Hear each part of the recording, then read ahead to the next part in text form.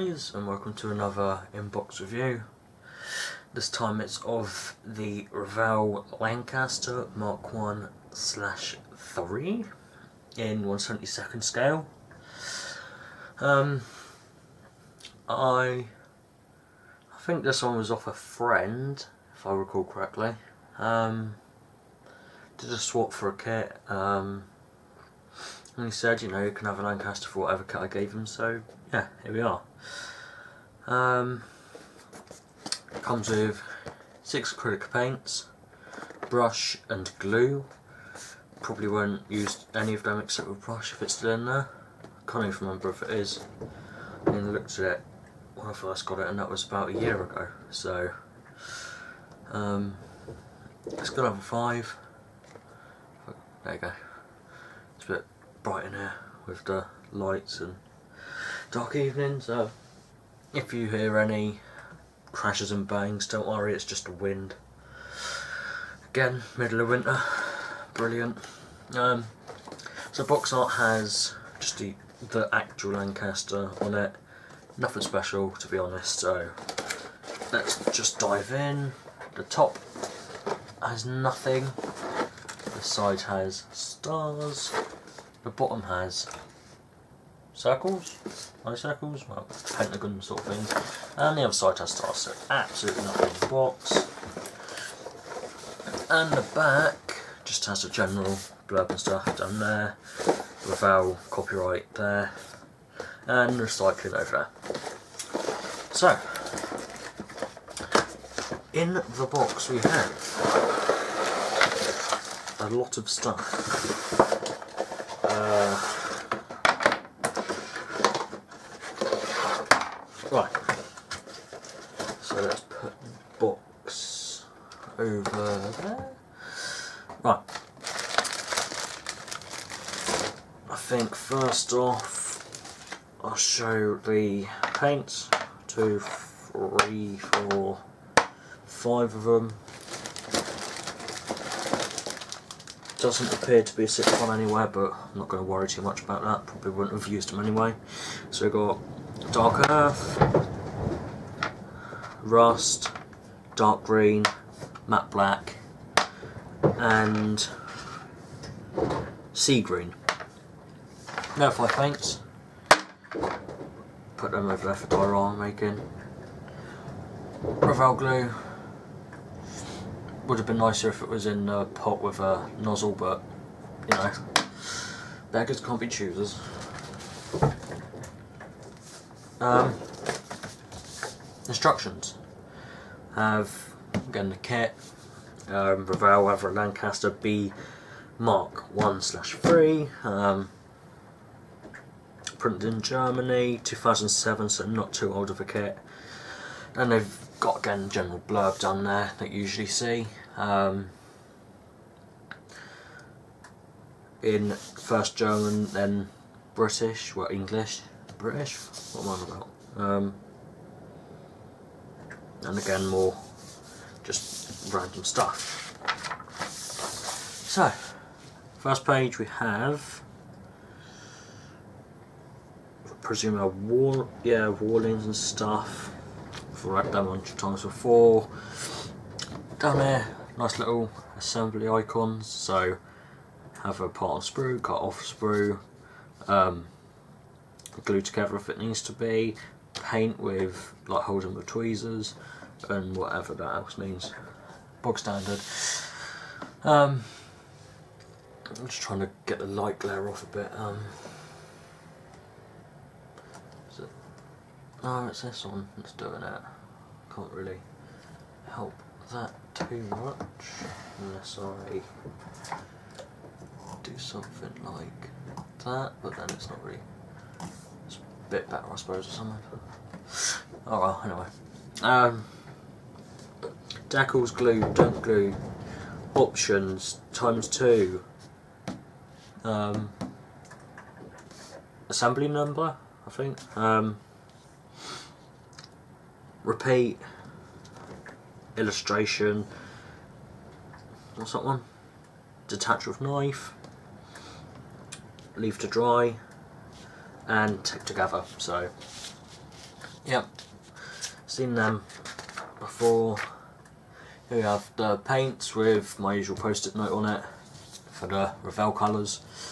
Um, it's just a lot easier I find because if I could actually get hold of it because I use Humbrol so convert them as soon as I get the kit and don't need to worry.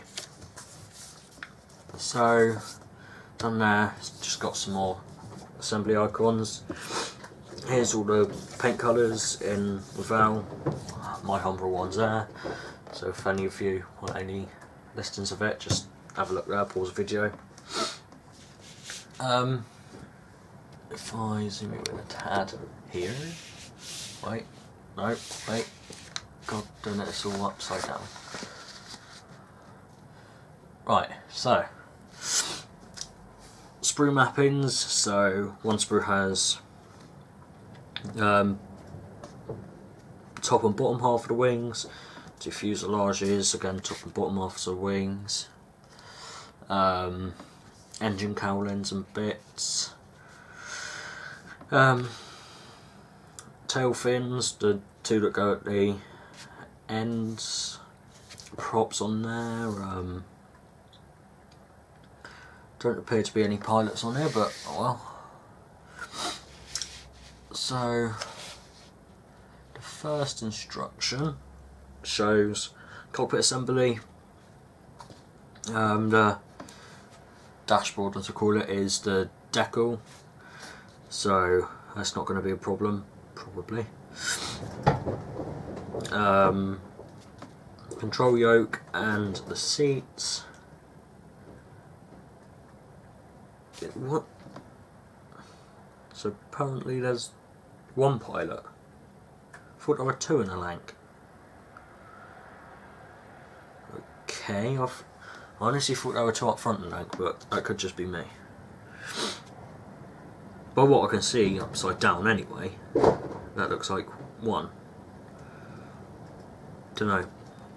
Anyway, um, navigator and stuff. are quite a similar layout to the B17 you'll just seen me build um, on the channel if you ain't seen it you know just pop over have a look if it's not interesting then you know don't have to watch but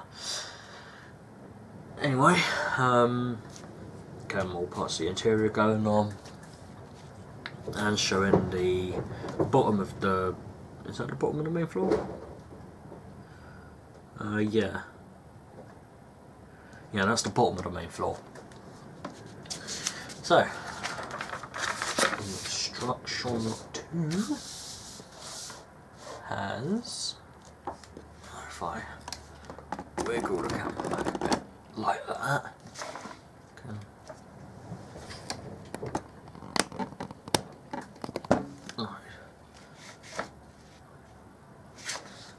Uh,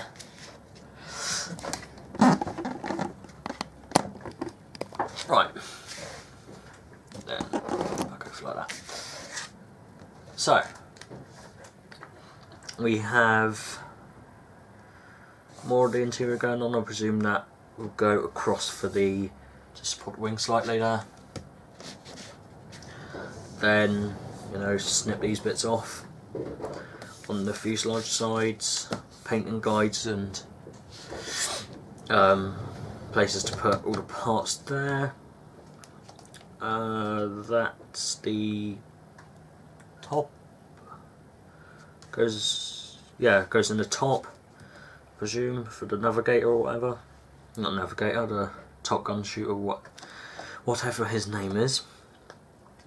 Um, and that gets installed into the fuselage. All the bits together, so the cockpit getting put in and everything. Wings together,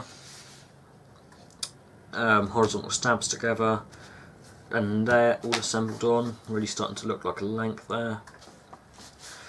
Um, nice touch is to actually make the engines properly, as with the Revell um, B17, so that's a nice touch there. Even if it's not much, it's still nice. Um, more of the engines, the bulkhead, being assembled.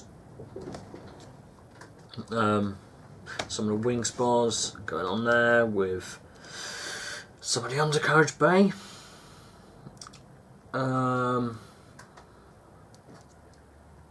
I can't quite make out what that is upside down.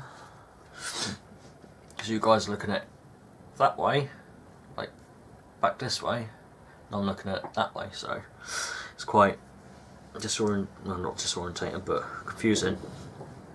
Anyway, there's the engine going onto the bulkhead, and then the whole engine assembly going in to the, cells. Um, I presume that's the backer for the props. I can only presume. And there, uh, put the cells together, keeping it all nicely packaged in, closing the engine away so you're not going to see it again, but it's nice they added it in. Um, engine bays going on with the exhaust and stuff going on there. And then we move on to here.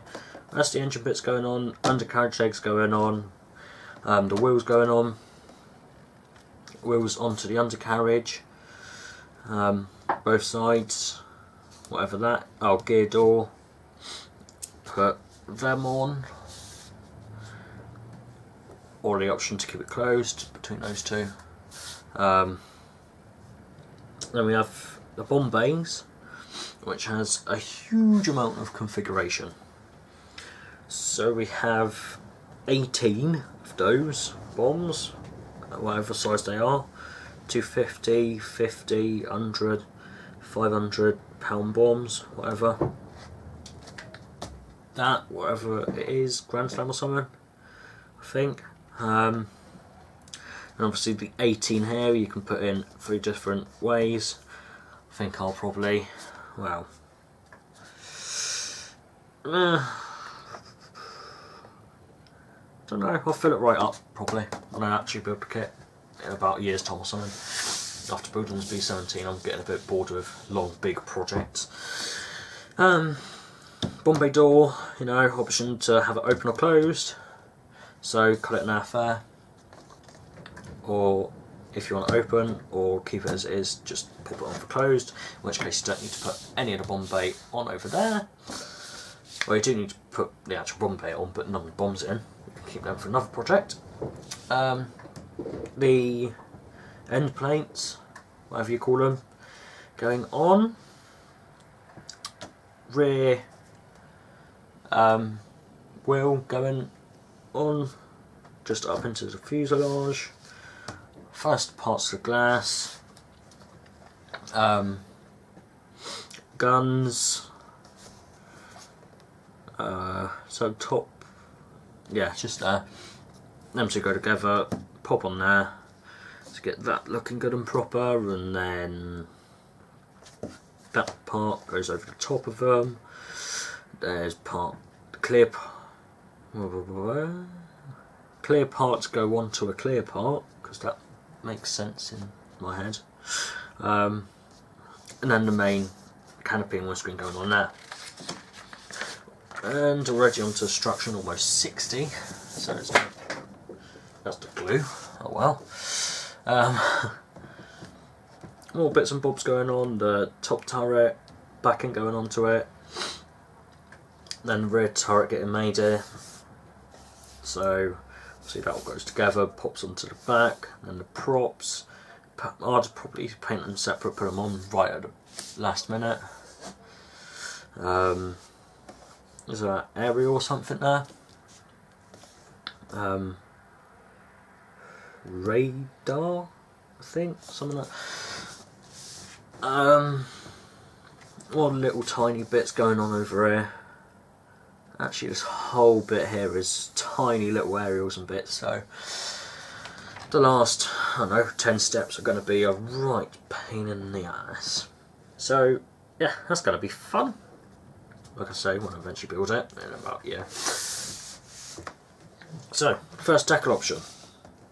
Um, Mark III, 100 Squadron, um, Elsham Wolds, Elsham Wolds, uh, Elsham Wolds, April 1945. So, um, I presume that's a completely black bottom with the dark earth and dark green uh, with the yellow um, fins there. I can only presume. Um,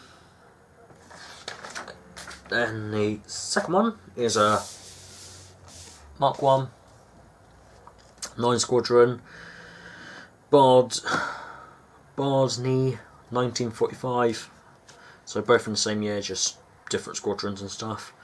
Um, I think that's a white tail white and black tail if I remember rightly from when I first looked for it and everything and again the same sort of camo there with different markings.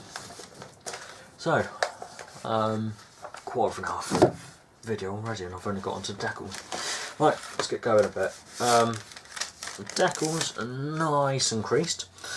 I can flatten them out a bit, I think. Not overly bad, I can put a book on them. So we have... Whoa, work out where the camera's going the 100 Squadron decals. the, what was that, 9 Squadron? Yep. Then all the rest of them, commons, so the main markings, roundels, the fin markings, cockpit, and all the walkways and stuff. Um, they look alright, printed by Revell in Italy, so yeah, usual Revell decals, so not usually got anything to complain with about them, but as always, got to be something to moan about. Just in a tad, to get the white off. Right. I think I'll leave the glass for last. Right. So we have the massive fuselage there. Not sure how well it's showing up.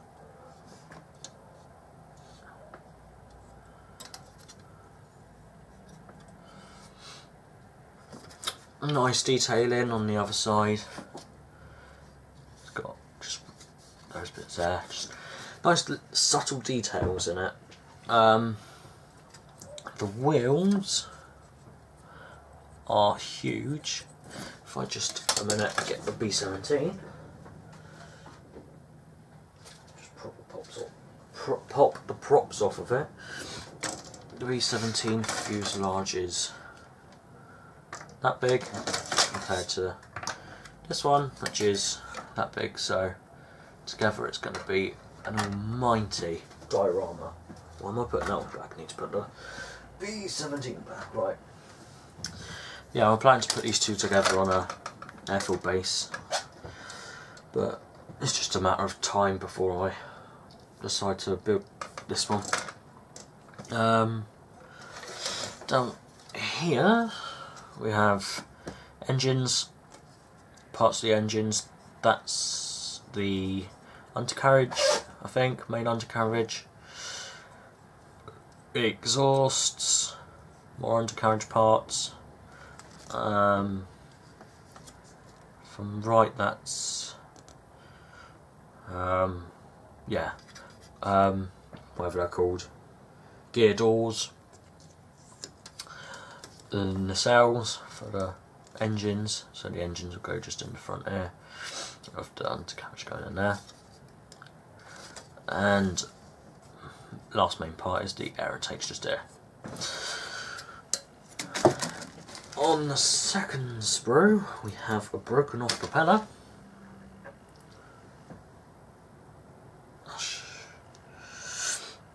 Um, looks right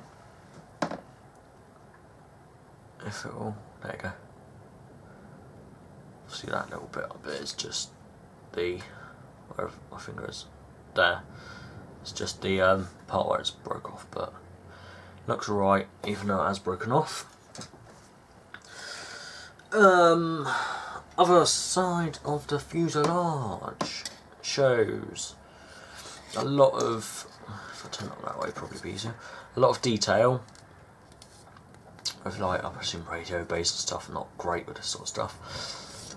Um, and the usual just bits and bobs in there. We have three propellers remaining, as the other ones over there, broken off. Again, the fuselage has nice panel lining on it. Nothing too over the top, but then it does its job. Um, I presume they're the wing spar bits that go in next to the wheel wells. Um, bombs are there. So I put in all of them on, folded both sides so there's going to be no seam lines hopefully. I say hopefully because there probably will be. Um, and for some reason the next two are in bags. Huge bags actually. Right. Uh, how does this make sense? Unless this is just a correction for the other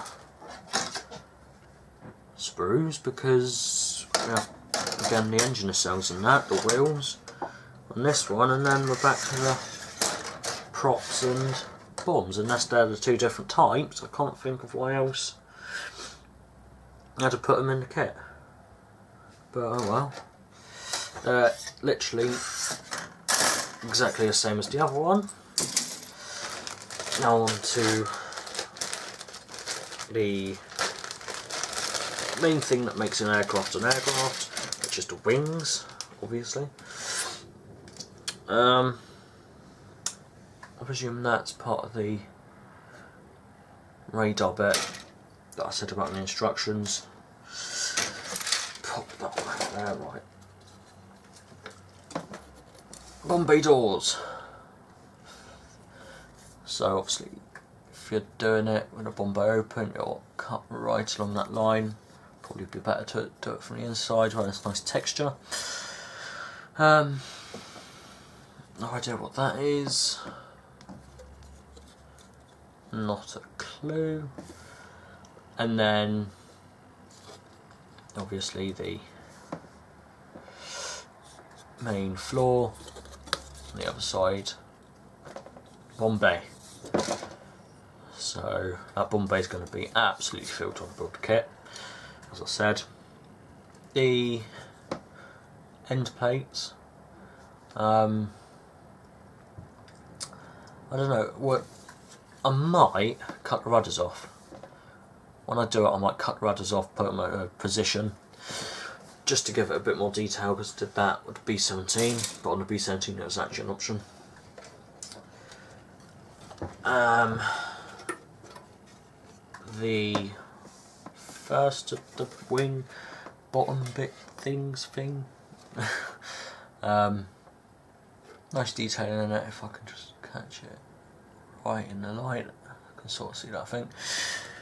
Um, obviously again it's one-sided so I'll probably glue cut them off before I glue it all together and position them no idea what that V is for there.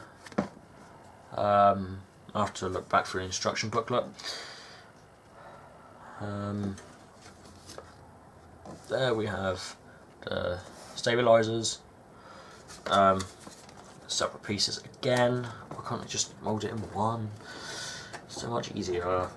Um, and then again the top half of the wing with nice detail on that.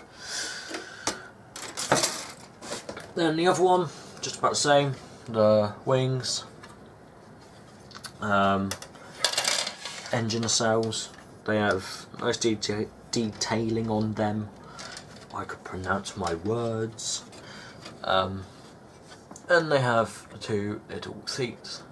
So obviously I presume that's a newer version and that's a slightly older version so obviously one of them, only one of them got upgraded. Um, and sort of the bulkheads and stuff to go through the fuselage and yeah that's about it on this kit. Um, the dashboard does have a texture to it so you can paint it if you want but decals are easier most of the time. Um, and the clear parts we have many of. Right, so the main canopy bit, if I put something under it, um,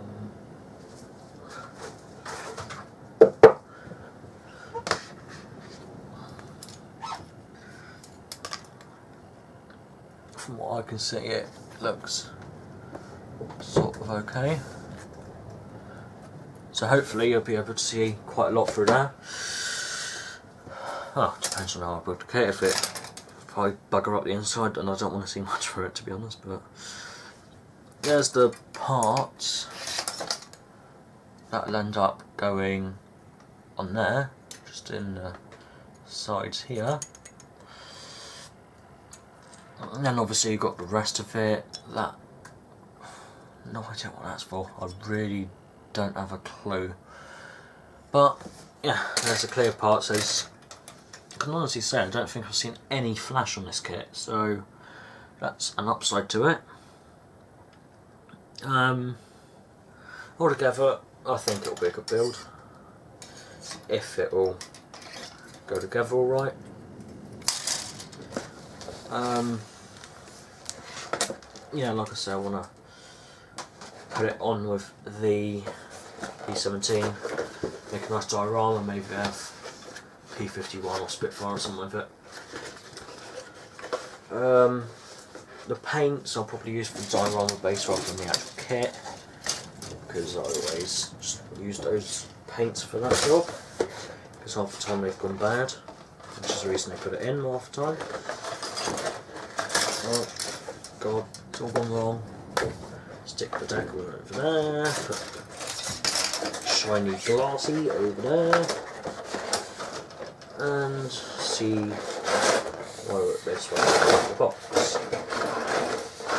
There we go. Right. So, that's the reason it won't go in the box. It's bloody bent to death, the boxes. So, um, yeah, looks like an alright kit. If you get offered it, I'd go for it. Um, obviously, keep an eye out for on my channel and other channels for builds of it to see how it goes out then. But yeah, in the meanwhile, just keep up to date with my videos, other videos, do road modelling, whatever, I'm not really bothered. Um, if you're new, like and subscribe, because I'm thinking about doing a little um, competition to see if I can get 200 before my birthday at the end of January. If I do, I might find a kit to give away, so keep an eye out for that. I'll, I'll think about it, depends if I get anything decent for Christmas and I think I can give anything else away. But yeah, like and subscribe if you're new, um, always show support and until next time I will see you on the next video.